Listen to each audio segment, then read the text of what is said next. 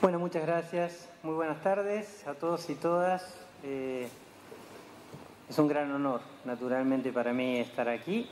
Eh, eh, y una gran responsabilidad cerrar este panel. mientras escuchaba las distintas exposiciones, me daban ganas de salir corriendo, básicamente, porque mi exposición probablemente esté de más. Pero intentaremos justificar la invitación tan amable que me llegó de la mano del secretario de la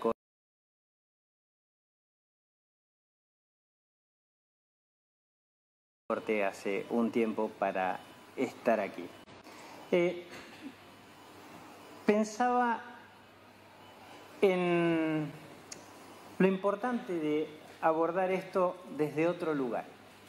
Yo estoy ahora en un cargo de un procedimiento extraconvencional de derechos humanos que es una relatoría de Naciones Unidas, como recién se dijo, y además integré y presidí el Comité de Derechos Humanos de Naciones Unidas, así que hace ya 10 años que me muevo en el sistema internacional. Pero la verdad es que mi primer amor fue el sistema interamericano, y ya se sabe que el primer amor no se olvida nunca. Fue el sistema interamericano al que le dediqué más de 20 años de trabajo, fue el sistema interamericano al que le dediqué mi tesis de maestría, mi tesis de doctorado, precisamente a la jurisprudencia de la Corte Interamericana de Derechos Humanos, y el sistema interamericano lo llevé todo lo posible a Naciones Unidas, no porque el sistema interamericano eh, en sí mismo lo justifique, sino porque el sistema interamericano, comparado con los otros sistemas, es mejor. Y entonces como mi obsesión es cómo garantizar mejor los derechos de las personas, hecho mano de aquello que más avance. Y permítanme, ustedes saben que cuando nos enamoramos, y, pero había que sacar esa sentencia cuando sacó esa sentencia la Corte Interamericana, en un caso además que la Comisión preparó horriblemente, mal. Y sin embargo, la Corte sorteó todas esas dificultades y sacó una sentencia que sinceramente es para aplaudir una y mil veces. Y estableció un estándar muy importante, y ese estándar tuvo que ser tomado incluso por la Corte Europea, a la cual, por cierto, no le gusta mucho mirar a otras instancias, pero finalmente la Corte Europea ha tenido que ir citando paulatinamente a la Corte Interamericana en varios asuntos y en varios casos. Particularmente en asuntos de desaparición forzada, pero también lo ha hecho en cuestiones relativas a violencia contra las mujeres y demás. Y en materia de no discriminación, se citó aquí el caso Atala Rifo. Qué importante esa sentencia de la Corte. Yo recuerdo la audiencia en Colombia audiencia en Colombia en la cual la señora Karen Atala, con su sola exposición, justificó la sentencia. Qué insólito que un país no le dé la tenencia de sus hijas a una persona por razón de su orientación sexual. La Corte fue muy valiente también allí. Y qué bien que la Corte efectivamente lo hizo. O más cercano, el caso González Lluy. Extraordinaria sentencia de la Corte Interamericana que aborda la dimensión económica y social de una problemática de una niñita a la cual se le infectó el virus de VIH por una transfusión de sangre en Ecuador. Y allí la Corte aborda lo relativo a la discriminación intersectorial distintas capas de discriminación que son importantes visibilizar al efecto de hacer un buen abordaje del problema. Y esto no lo tuvo siempre la Corte. La Corte ha ido creciendo y avanzando. Y aquí hay algunas personas protagonistas de esas decisiones, a las cuales, por cierto, hay que felicitar por ello. O la opinión consultiva 18, un poco más atrás en el tiempo, también en materia de no discriminación, donde la Corte fue el primer tribunal el primero, que dijo que el principio de no discriminación es una norma de orden público internacional. Y la verdad es la norma del derecho internacional. Si a mí me piden elegir una, yo me quedo con esa, porque sobre esa base se puede trabajar en todos los asuntos. O la opinión consultiva 24, a la cual también se hizo referencia recién. Para mí es magnífica esa opinión consultiva. Para mí es magnífica y valiente, pero además necesaria, muy necesaria, en un continente y en un mundo donde la discriminación por razón de orientación sexual e identidad de género nos va a dar vergüenza, nos va a dar mucha vergüenza. Y a quienes no dimensionan esto, les va a dar vergüenza retroactiva en un tiempo. O en cuestiones de derechos de las mujeres, que se podría llamar esto de Loaiza Tamayo a campo algodonero. La Corte Interamericana careció de abordaje de género, de perspectiva de género, en el caso de Loaiza Tamayo, cuando mostró, no encontró, mejor dicho, probada la violación sexual por el testimonio de la víctima, aunque sí condenó a eh, Perú por violación del derecho a la integridad. Pero fue revictimizar la víctima, no haber considerado la violación sexual a partir de su testimonio y otro tipo de peritajes que bien se podrían haber utilizado. En Rosendo Cantú, sin embargo, mencionaba Silvina, la Corte mostró algo completamente distinto, porque la víctima incluso había declarado en algunas oportunidades que no había sufrido violación. Y luego lo termina reconociendo. Y la Corte entiende el contexto y da por probada efectivamente la violación. Y claro, no quiero dejar de mencionar el caso IBE con Bolivia, resuelto recientemente por este Tribunal Interamericano, con una extraordinaria perspectiva de género que aborda la problemática de la violencia eh, obstétrica, la esterilización forzada como una violación de derechos humanos inaceptable, el cercenamiento de la autonomía de los derechos de las mujeres a decidir por sí mismas, algo que todavía lamentablemente cuesta tanto en nuestro mundo y particularmente en nuestro continente. O en materia de derechos económicos, sociales y culturales. Ahora podríamos hablar de, cinco pensionistas a Lagos del Campo.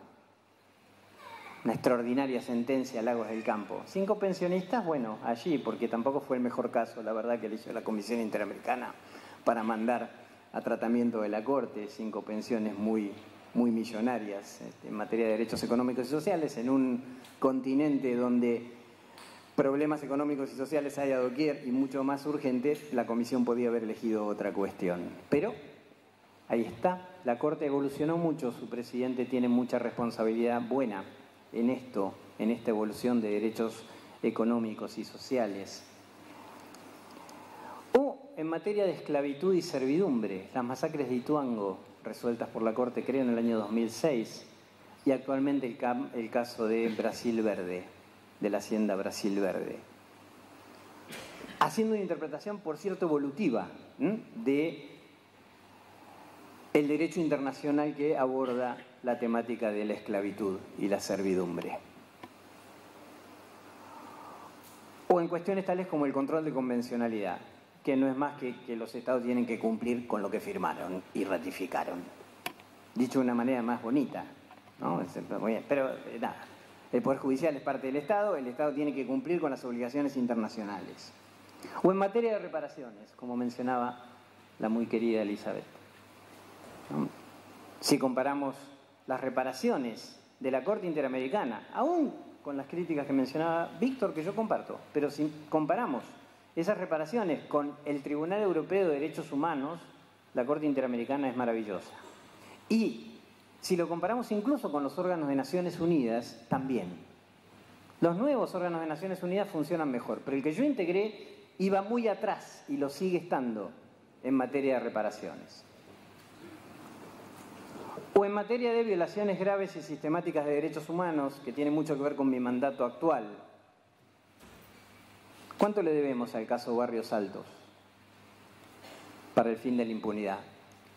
Para que dictadores paguen sus responsabilidades.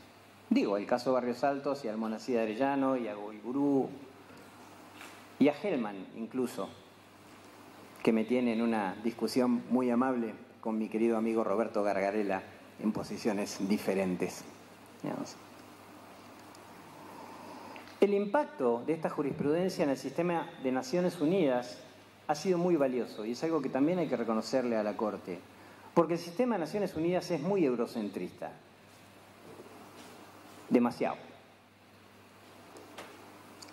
Pero ya los órganos de tratados tienen que hacer referencia a la Comisión y a la jurisprudencia de la Corte Interamericana de Derechos Humanos. Es inevitable. Y por cierto, me tocó presentar, presidir y aprobar la nueva política de reparaciones del Comité de Derechos Humanos basada en la jurisprudencia de la Corte Interamericana de Derechos Humanos, basada en los criterios de jurisprudencia de la Corte Interamericana de Derechos Humanos o en el trabajo de los organismos de los órganos extraconvencionales las relatorías. Hoy saqué un comunicado de prensa en relación a la probable ley de amnistía de El Salvador, citando jurisprudencia de la Corte Interamericana. No lo hice porque venía aquí, digamos, este, lo hice porque había que hacerlo y porque la jurisprudencia de la Corte Interamericana es lo mejor que tenemos en la materia.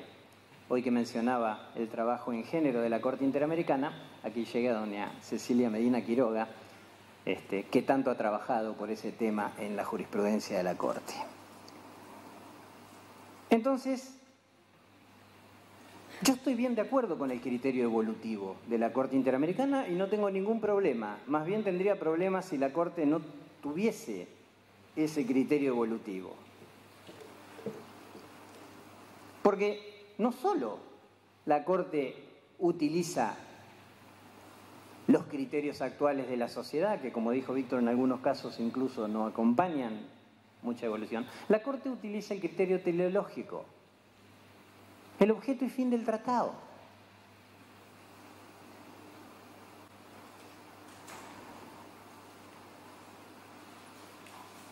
Y sí, apretó el acelerador la Corte, era hora, era hora de que apriete el acelerador.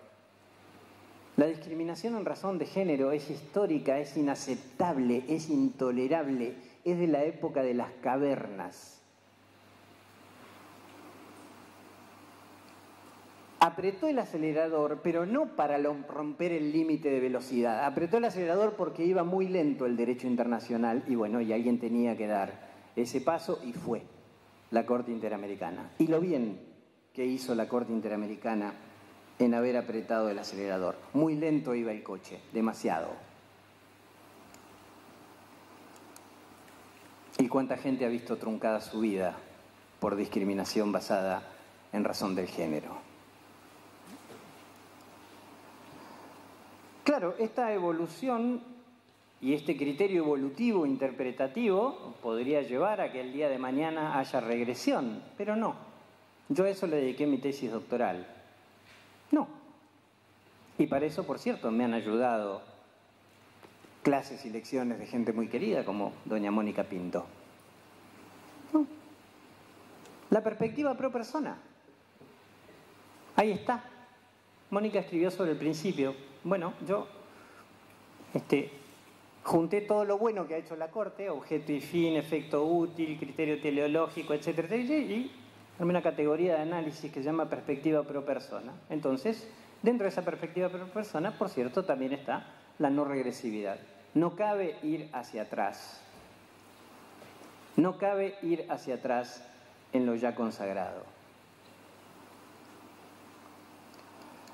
Ahora bien, y ya para ir terminando, porque siendo el último que habla en un panel largo, y si yo utilizo mucho el uso de la palabra, es una violación del derecho a la integridad y a no ser sometido a torturas, que está consagrado en el artículo 5 del Pacto de San José y en el 7 del Pacto de Derechos Civiles y Políticos.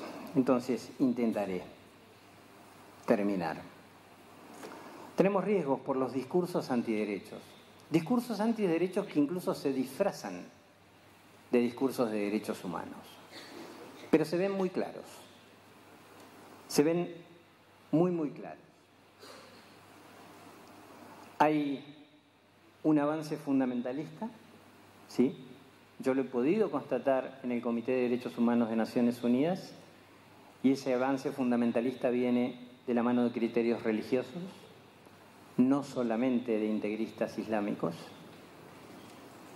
Creo que el avance de los sectores evangélicos, que no está nada mal tener, por cierto, la religión que quien desee tenerlo.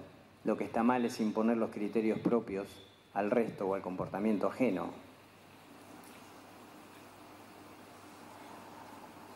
O amenazas no tan veladas como la carta reciente de algunos gobiernos de la región al sistema interamericano de derechos humanos, diciéndole que el sistema interamericano no haga aquello para lo cual el sistema interamericano fue creado.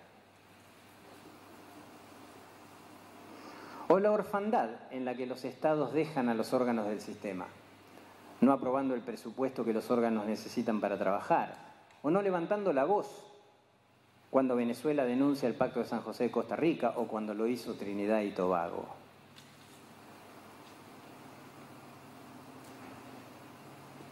Entonces, ¿cómo actuar en el futuro? Y claro, Silvina me robó lo que tenía para decir en esto. Yo sí creo que necesitamos órganos con dientes afilados. Nada de posiciones débiles. Los órganos del sistema no se achicaron en las dictaduras, no se pueden achicar ahora. Si los órganos del sistema no hablan firme y claro, ¿quién lo va a hacer? Si quienes tenemos un poquito de poder en órganos internacionales no levantamos la voz por los derechos de las víctimas, si las dejamos atrás, si las dejamos olvidadas, por especulaciones políticas, por conveniencias, por reelecciones en los órganos, por lo que sea. Son riesgos. Son riesgos que hay que transitar con plenitud de responsabilidad y privilegio porque cada privilegio conlleva una fatalidad. Y entonces aceptemos los privilegios llenos de responsabilidades. Cuando integré el Comité de Derechos Humanos de Naciones Unidas, hice unos 60 votos separados en casos individuales. Pero esos votos separados siempre fueron porque consideraba de que no se garantizaba suficientemente los derechos. Hubo casos en los cuales el comité, fueron pocos, pero hubo casos en los cuales el comité fue hacia un lugar más progresista que mi propia posición. Yo no estaba de acuerdo con lo que decía el comité, pero allí me cuidé bien de no escribir, porque nunca algo que yo escriba va a ser utilizado para debilitar. Y digo esto porque un voto separado de la Corte Interamericana me fue argumentado en El Salvador para intentar validar la ley de amnistía. Un voto separado del caso del Mozote. Un enorme daño a las víctimas de violaciones de derechos humanos. No entender que la justicia transicional ya no es aquello que se adoptó en el año 83 o la solución sudafricana, que después del Estatuto de Roma el que las hace las paga. Eso es lo que dice el Estatuto de Roma. Y hacia eso hay que ir efectivamente. Y que no resulta razonable una sociedad en la cual quien roba un celular pasa dos años preso y quien hace una masacre queda libre en nombre de qué paz.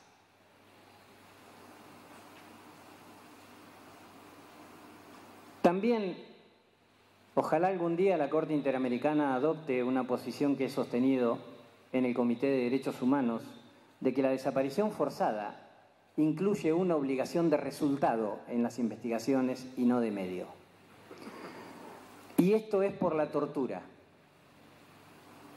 La tortura no es, si no, doña Cecilia Medina me va a señalar, la tortura no es, claro que no es una violación continua. Pero el trato inhumano y degradante de la incertidumbre de la familia sí lo es, hasta que se da con la persona, viva o devuelto sus restos a sus familiares.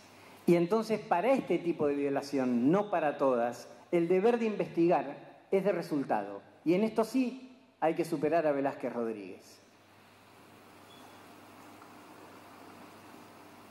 Y también espero que la Corte consolide su trabajo en materia de lucha contra la impunidad frente a violaciones graves y sistemáticas de derechos humanos. A mí me será de, mucho, de mucha utilidad, pero no lo digo por una cuestión personal, le será de mucha utilidad a las víctimas. Estuve en el Mozote, la Corte también estuvo en el Mozote. El dolor allí es actual, no es de hace 40 años. La gente llora hoy. No es lógico que sus responsables no rindan cuentas. Y como los estados se escapan por los vericuetos, ojalá la Corte Interamericana sea bien clara en que hay que pagar cuentas frente a este tipo de cuestiones. Y ojalá que la Corte Interamericana avance en materia de derechos humanos de las mujeres y se le dé plena autonomía a las mujeres para decidir sobre sus propios cuerpos. He asistido a opiniones en el debate sobre la interrupción voluntaria del embarazo en muchos países que le hacen decir a la Corte Interamericana lo que la Corte Interamericana no ha dicho e incluso que le hacen decir a los órganos internacionales de derechos humanos lo que los órganos internacionales no ha dicho. Nunca en toda la historia el Comité de Derechos Humanos que yo integré le ha dicho a un Estado que tiene ley de interrupción voluntaria del embarazo de que eso implica una violación de algún derecho establecido en el Pacto de Derechos Civiles y Políticos. Me dicen que tengo que terminar y ya.